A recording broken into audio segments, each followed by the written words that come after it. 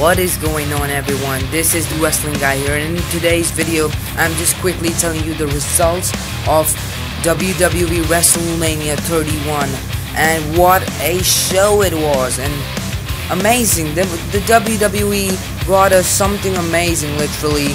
I had a lot of vids coming on the uh, results of each and every matchup and I uploaded, uh, I live streamed around a 33 or a 34 minute live stream for the WrestleMania 31 full show review and results. And it was kind of amazing. Seth Rollins is the new WWE World Heavyweight Champion. I'm just gonna quickly go through the results of the all the nine matches that happened and all the fun in the uh, WrestleMania 31 pay-per-view. So the first match in the pre-show was a, a fatal four-way match for the WWE Tag Team Championship. Tyson Kidd and Cesaro um, defeated the New Day, uh, which were um, Kofi Kingston and Biggie, and they also defeated Los Matadores and the Usos.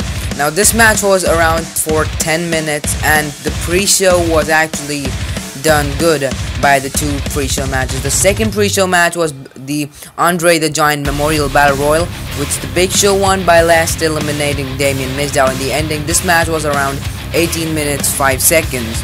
The next one to kick off the WrestleMania main WrestleMania show was Daniel Bryan defeating Bad News Barrett, R-Truth, Dean Ambrose, Luke Harper, Dolph Ziggler, and Stardust for the WWE Intercontinental Championship and he became the new Intercontinental Champion. And his um, the time duration for this matchup was 13 minutes and 47 seconds.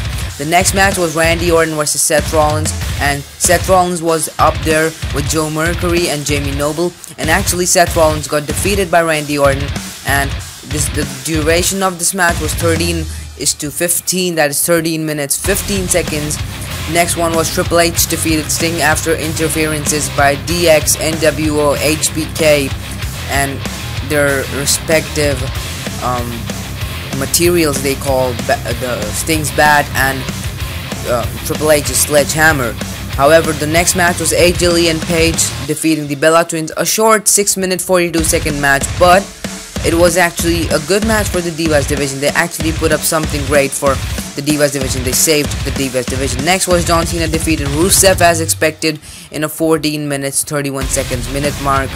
The next, The Undertaker defeated Bray Wyatt 15 minutes 12 seconds and Seth Rollins defeated Brock Lesnar was and Roman Reigns in a triple threat match for the WWE World Heavyweight Championship. This was 16 minutes 43 seconds. Now this match was originally a one-on-one -on -one singles match between Roman Reigns and Brock Lesnar for the WWE World Heavyweight Championship. And later on, when the match was about to end, came down Seth Rollins, he cashed in, he made the match triple threat. He did, uh, he hit curb stomp to Brock Lesnar, he hit curb stomp to Roman Reigns, he pinned Roman Reigns, and guess what? He's the new WWE World Heavyweight Champion. So, rating all of the nine matches on a scale of 1 to 5. The kickoff match, for uh, the fatal four-way match, I'll rate it 4 on 5 the Big Show winning the match, I'll rate it 2 on 5. The, the main show starting, Daniel Bryan winning, I'll rate it 4 on 5 again. And Randy Orton defeating Seth Rollins again 4 on 5. AJ Lee and Paige, I will give them 5 on 5. That, that, that match was pretty amazing if you want to call a Divas match at WrestleMania. A short Divas match. John Cena defeating Rusev 3 on 5. I hate John Cena. The Undertaker defeating Bray Wyatt 5 on 5. That was gold and Seth defeated Brock Lesnar and Roman Reigns. Oh my god, 10 on 5. That was amazing. That was mastermindship and Rollins just stole the show. So however, these were the results of the WWE WrestleMania 31 show. I hope you liked the video. If you did, please leave a like to this video. It really helps me grow my channel up and I'll talk to you in the next one. Peace out.